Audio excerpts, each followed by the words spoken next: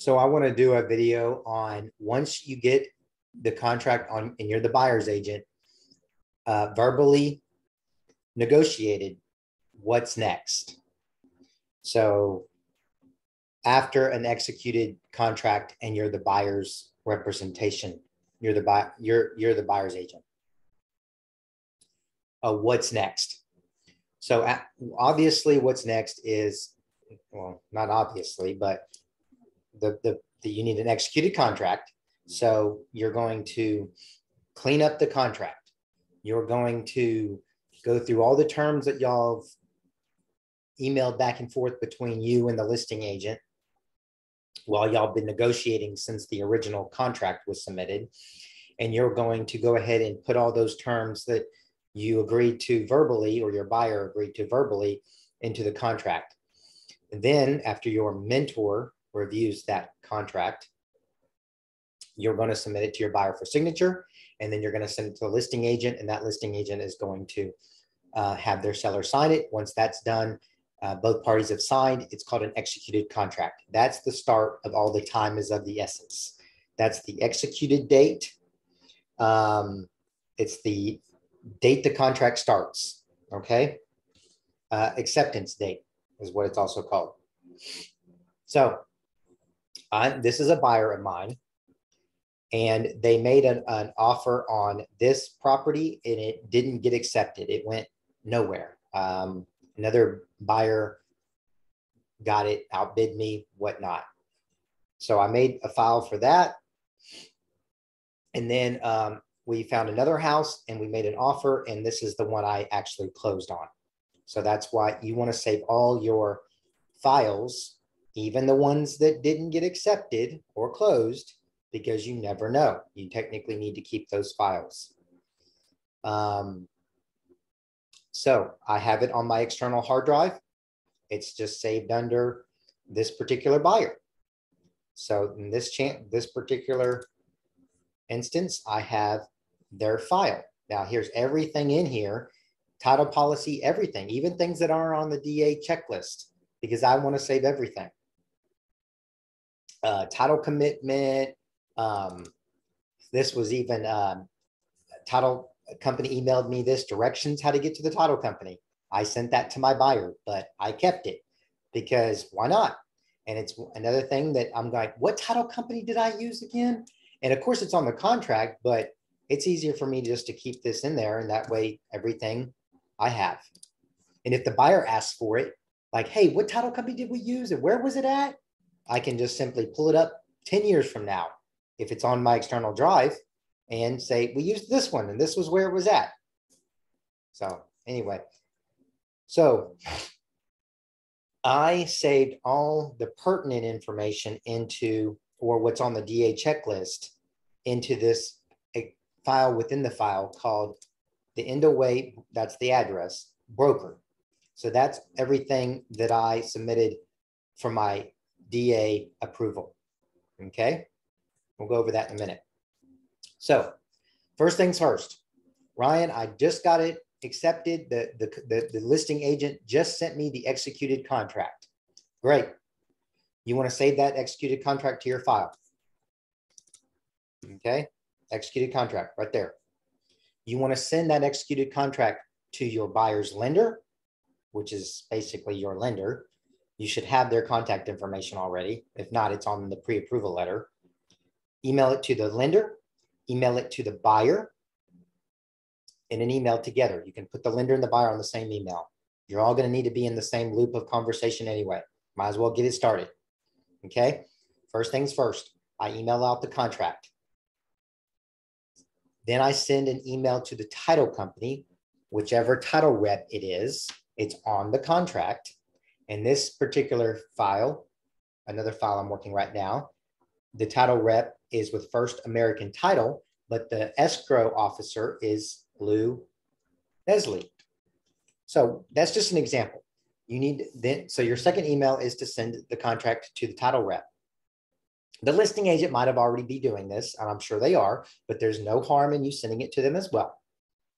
And then ask the title lady, say, whenever you receive the earnest money from my buyer, please send me an earnest money receipt and say, I look forward to working with you. Send. The lender, you're gonna, you're gonna say, attached is a copy of the executed contract. Please keep me in the loop of the loan. Updates on the loan progress. I look forward to working with you. And you want to CC your buyer so they have a copy of that contract as well.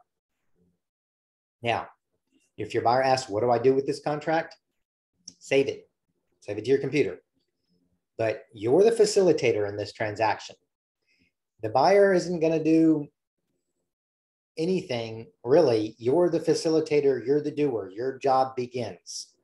So, what I do after that is I pick up the phone to my buyer and I say, Congratulations, your contract is executed.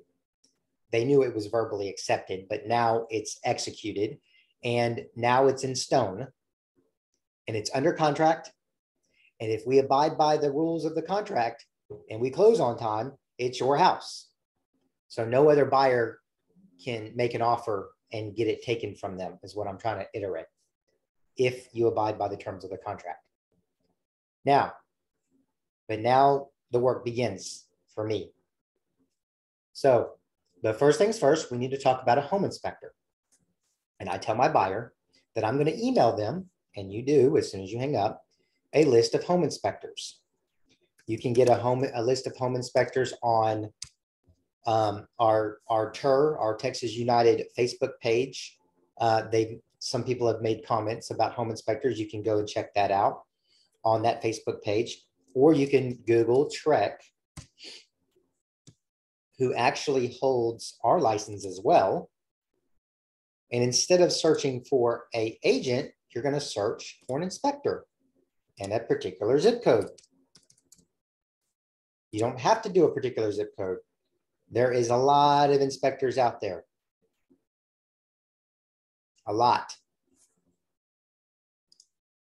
Or you can go to the TUR Facebook page and I've got it in here somewhere.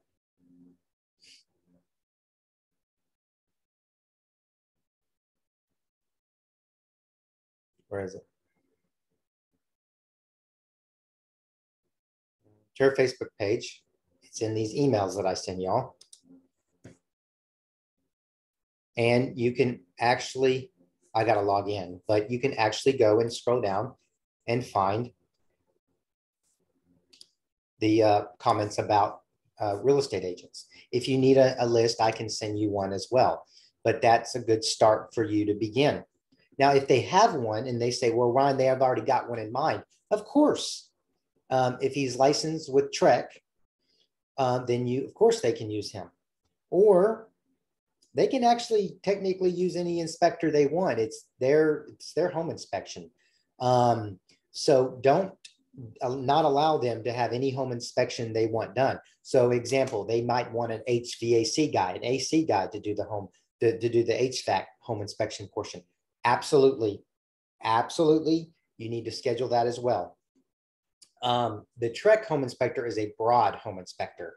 And then you can get an inspection for each category, like an electrical engineer to do the electrical, an HVAC guy to do the AC, um, a foundation uh, engineer to do the uh, foundation. Make sure it's an engineer, an actual engineer, and not a representative of a foundation company. There's two major differences in the two. The foundation rep is trying to sell a foundation pier job. They're not necessarily an engineer. An engineer has a engineering degree and he is certified to do a, an inspection and he's not trying to sell a home inspection, a home pier job. So an engineer.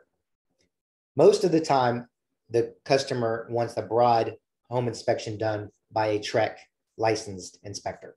So once you get that sorted out, whichever one they want to use, you need to call the home inspector and say, what is your availability? I have a home that's under contract. And two, what is your price? And they're going to ask you for the, uh, the square footage, the age of the house, everything you can find on MLS. So have that pulled up. You're going to call your buyer and say they have Tuesday or Thursday available at 10 o'clock Which do you prefer? And you need to make sure that they are there as well as you need to be there. Two reasons for that. I go there because if I'm not there, how am I supposed to know what the inspector is saying? So how can I negotiate repairs or um, or a price um, reduction or a closing cost money in lieu of repairs if I don't know what the inspector said. And over the phone is a lot different than being there in person. And two, your buyer expects you to be there. You're their representative. Um, it's just professional to be there. At all costs, I make my home inspection and I make the closing at all costs. I don't care if I'm sick. I'm going to be there. I promise you. Um, then they need to be there because it's their house. They are paying for the home inspection, and the home inspection inspector is going to usually have them pay for that fee as soon as he gets done inspecting the home. So that day, uh, usually in a check, uh, cash, or sometimes they take credit card. A home inspector from TREC usually costs between four and six hundred dollars. It depends on the square footage. It depends on a lot of things. That's why you want to get a quote from the inspector up front when you when you when you ask their availability. You want to ask their price, and then you also want to go ahead and see if the buyer wants to schedule a termite inspection or a WDI inspection. That is actually required on a VA loan. So um, and most of the time, your buyer is going to want a termite inspection. Sometimes the TREC inspector is licensed to do a D, WDI, wood destroying insect report, termite report. And sometimes the home inspector will have a, um, usually they'll have a pest control company that they'll refer you to for that. Um, so a pest control company can do that as long as they're licensed. Now, after I set up the home inspection, let's back it up. Before, right before that, we talked about earnest money. You're going to want to get your buyer, when you call your buyer, you want to also talk to them about the earnest money.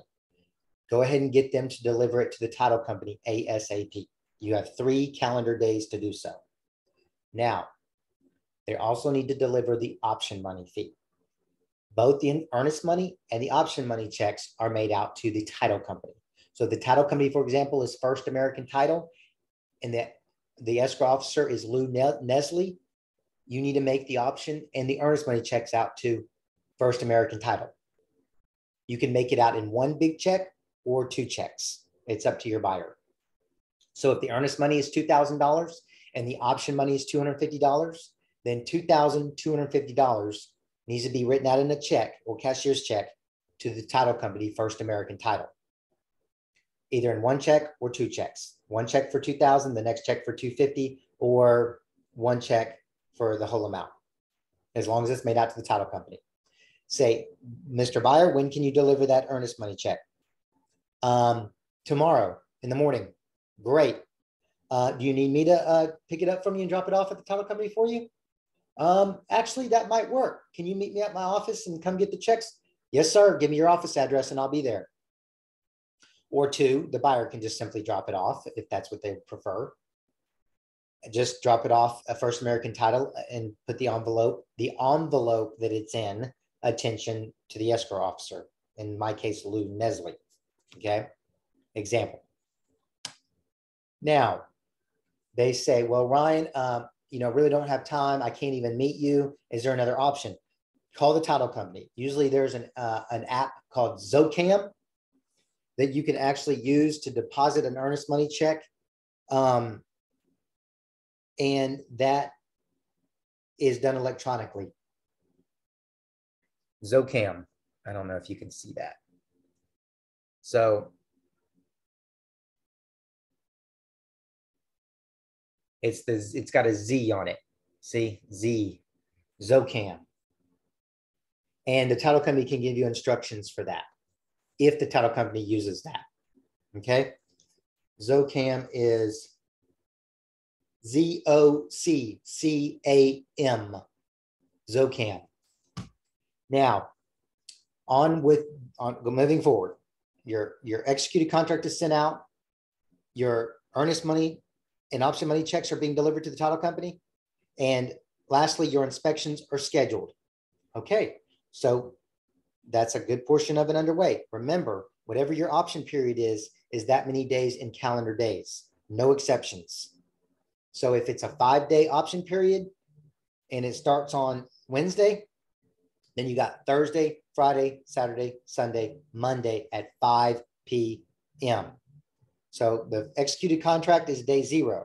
The next day is day one, then two, three, four, five, and it ends at midnight. Sorry, not midnight. I apologize. It used to be midnight. It ends at 5 p.m. 5 p.m.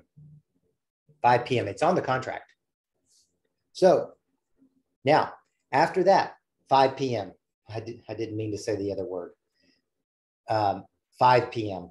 It's on the contract and it's calendar days. So after that, you want to go ahead and and make sure your lender responds and they receive the contract and then ask them any questions that you might have. Um, and then you want to move forward, obviously. But remember, you've got the option period days to sort out if your buyer is going to move forward or not. If your buyer decides not to move forward for whatever reason, it's actually an option period. It's um, it's whatever reason they can back out. Then they have that time to do so, and they lose their option money, but they get their earnest money back as long as it's within the the the option period days. They do lose the option money. The option money is actually never refundable. It's just the contract dictates if the earnest money is refundable or not. So in that five days, let's pull up my contract.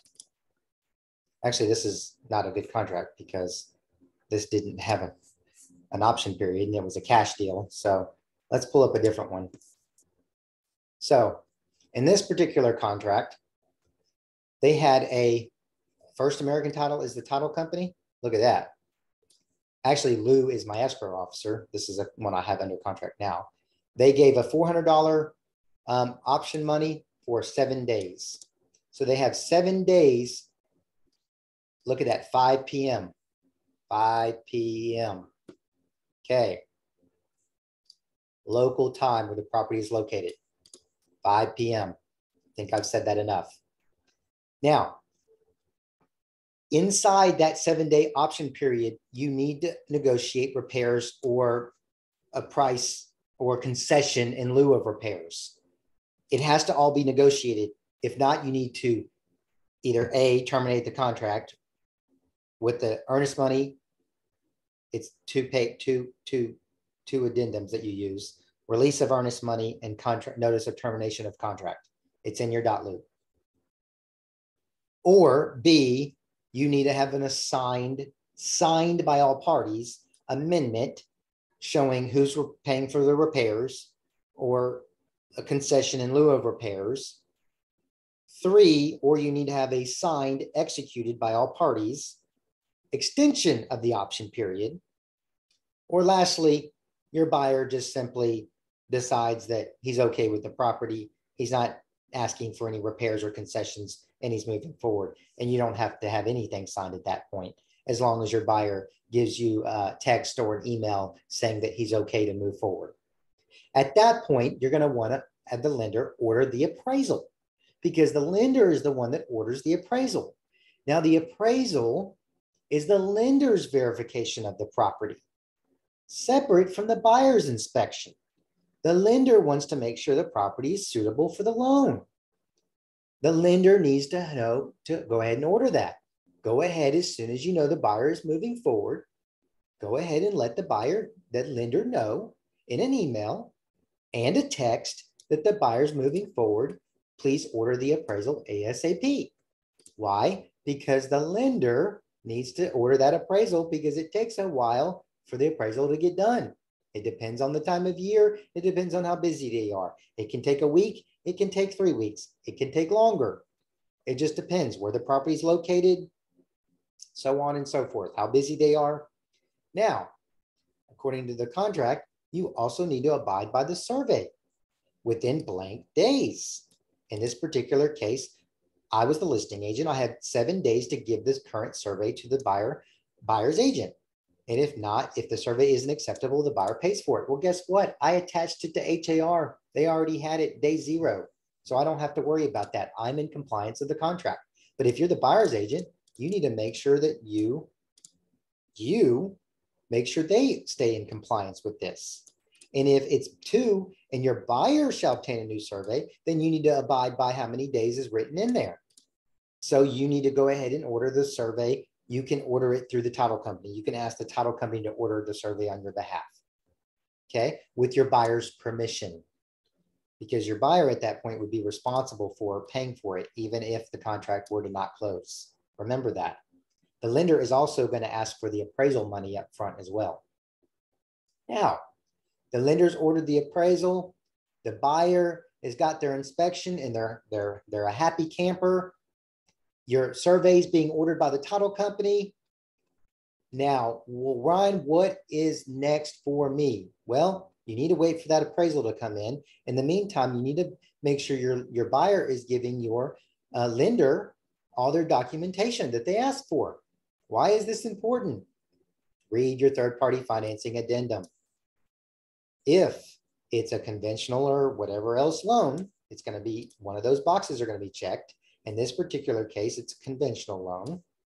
This buyer, there's two types of, there's two parts of the approval.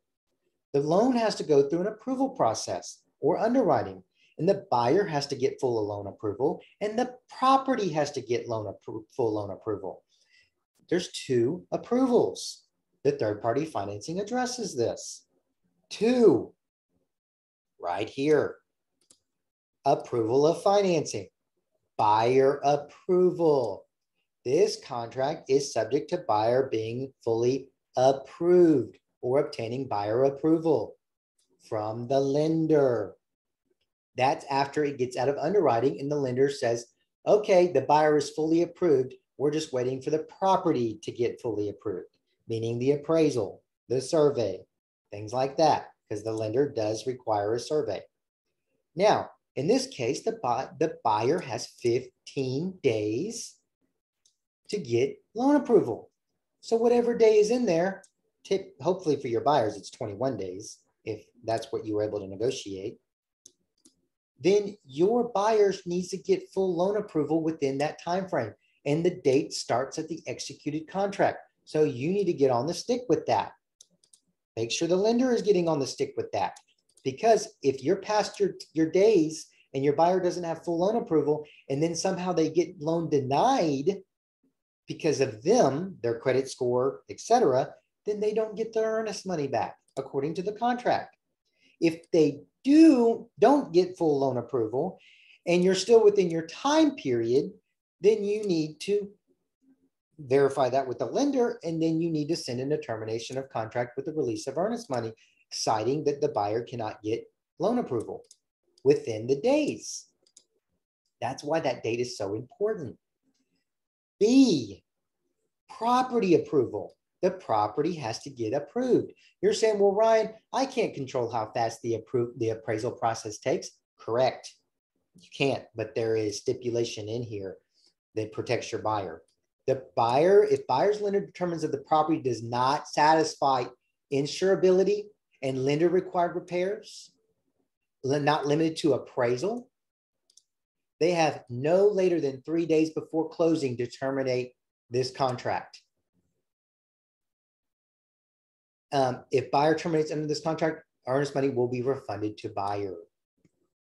So that means if a roof if the foundation, something isn't acceptable to the lender, then your buyer can back out because of the property condition approval required by the loan. That's going to come from the appraisal. The appraiser will say if the roof doesn't qualify or the foundation doesn't qualify or so on and so forth. You're saying, I know you're asking a question right now. Let's hold that. You're saying, can the buyer still move forward? Hold on. There's two parts to the property being approved there's the property condition and there's the price. The price is a big one. I know you're going to ask that. Yes. In this paragraph, it adjusts the price for FHA and VA only.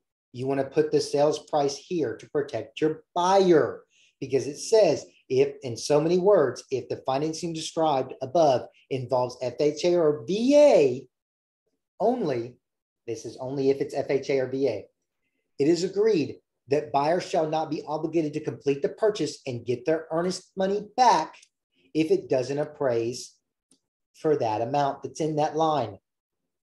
There's no timeline on this as long as it's before closing. Now, you're saying, Ryan, this protects my buyer in an FHA or VA. Correct. What about conventional? I'm going to answer that because this, this doesn't address conventional and how much it should appraise for. I'm going to tell you that. It does, B does address property, uh, property, the condition of the property according to the lender, but it doesn't address the price other than FHA and VA. I know that. That's why you're going to include on your DA checklist, you're going to include an appraisal addendum. Addendum concerning right to terminate due to a lender's appraisal. In a conventional loan, it is required by our office that you have this in there. You're going to check most likely three, and you're going to fill that out. X days, I would at least put 20 to 30 days in there if you can get away with it, because it takes a little while for the appraisals to be done. And then you're going to put the sales price in there. And then that protects your buyer. If buyer terminates under this paragraph, the earnest money will be refunded to buyer. It says, in addition to paragraph 2B of the third party financing edition addendum. So that also means the buy the property has to get approved by the lender, meaning the condition of it. Now, don't mistake that for a full blown home inspection. The appraisal is not a full blown home inspection. They're going to go through the property in about 15 minutes and they're making sure that it, it meets this minimum requirements for the loan. They're not going to check everything like your buyer's home inspector is. They're going to check mainly the big ticket items hot water heater, roof, make sure everything's functioning, make sure everything works, Make sure appliances are there and aren't, aren't empty holes there. Make sure there's flooring. Make sure it's a fully functional house. Make sure the roof on a conventional and FHA loan, the roof has to have two to three years of functioning life left in it. What does that mean? It that's determined by the appraisal appraiser. I they they have to they in their minds they have to note and be okay with that the roof has at least two to three more years of functioning life left in it. I'll let it be that, be said at that. I can't elaborate on that. That's up to the appraiser. Whoever goes out there, you cannot pick the appraiser either. Sorry, not anymore. Back 10, 12, 13, 14 years ago, you could, not anymore. Okay, so we've gone over that. We've gone over the appraisal pretty extensively. There's other things you need to make sure you have in your DA checklist, like you need to have the buyer sign off on the seller's disclosure, the MUD form, lead-based paint, of course, information about brokerage services. There's my survey. The T47 always has to accompany the survey if the survey was provided by the seller. There's the pre-approval letter. There's the MUD. So I have all my ducks in a row. I'm going to make sure also I'm abiding by the HOA addendum this one, because sometimes this is filled out and either your seller or the buyer needs to get certain information from the HOA. You can use the title company to get that information. So let's say it's not checked, the four is checked, so they don't require the subdivision information. Okay, you can still get the sub the deed restrictions from the uh the for the neighborhood. Ask the title company for them. They'll send them to you. I just did that, and they sent them to me, no charge on this particular case. So ask the title company. The title company and the lender is going to be big go-tos. That's why I wanted you to send that email to them in the beginning to go ahead and start the relationship. Now, at closing, this is saying your buyer is going to pay up to X amount for the transfer of the property um, for the HOA. Now, just be cautious with this if you're the listing agent, because now HOAs are charging entrance and exit fees, and that's technically considered a transfer of the property. So here's an example. In, in, in, in my, I'll, I'll give you the example. It was actually this particular case. in this particular case, I'll give you, literally, I'm giving you the upfront case scenario. This is my buyer, was my buyer, we closed. In this particular neighborhood, there was an entrance and exit fee charged by the HOA due at closing. It was like a thousand bucks for the entrance fee and two thousand bucks for the exit fee, and then another. I think it was a hundred and fifty dollar transfer fee. Now you're saying Ryan C protected your buyer. They only um, the buyer. It says buyer shall pay not transfer fee not to exceed three hundred fifty dollars. Okay, so you're saying well the buyer had to pay the hundred fifty dollar transfer fee. Yep, I agree. And I figured that was the case, but it says up to. You're saying, well, Ryan, they paid the 150 transfer fee at closing. They agreed to it. They said they would pay up to $350. I agree that. I agree with that. But guess what? The capitalization fee, which included an entrance and an exit fee of $1,000 each, um, it was technically a transfer fee because it was due at the transfer of the sale. So it wasn't called a transfer fee, it was called an entrance and an exit fee. So the title company said traditionally the buyer pays the entrance fee, the seller pays the exit fee. And I said, okay, but I protected my buyer for up to $350. It says all other charges associated with the transfer of the property which in my mind includes the entrance and the exit fee. So I told her, no, we're going to cap it according to the contract at $350. The rest the seller will have to pay. And guess what happened?